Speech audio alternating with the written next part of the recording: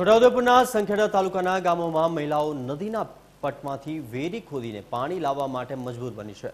ગામમાં ત્રણ જેટલા હેન્ડપંપ છે, પરંતુ એક પણ ચાલુ નથી. ગામના લોકોએ સરકારમાં અને ગ્રામ પંચાયતમાં અનેકવાર રજૂઆત કરી છે, પરંતુ સરકાર દ્વારા યોગ્ય પગલાં લેવામાં નથી આવી રહ્યા. માટે મહિલાઓને નદીના પટમાં વેરી ખોદીને પાણી લાવવું પડે છે, જે ઘણીવાર દૂષિત હોય છે. ગામની મહિલાઓની સરકારને પીવાના પાણીની સુવિધા કરી આપવા માંગ કરે છે. તકલીફ છે અમારે.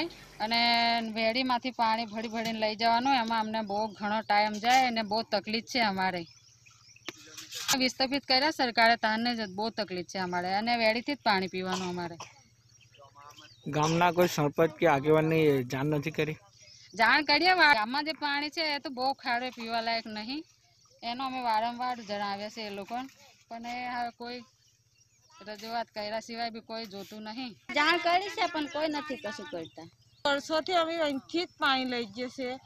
અને તમે જોઈ શકો છો અહીં અમે કેટલા વર્ષોથી પાણી ભરી અહીંયા વારંવાર રજૂ કરવા છતાં કોઈ નિરાકરણ આવ્યો નથી. અમે સરપંચને પણ જાણ કરી નિગમમાં જાણ કરી કોઈ કશું જ કરવા તૈયાર નથી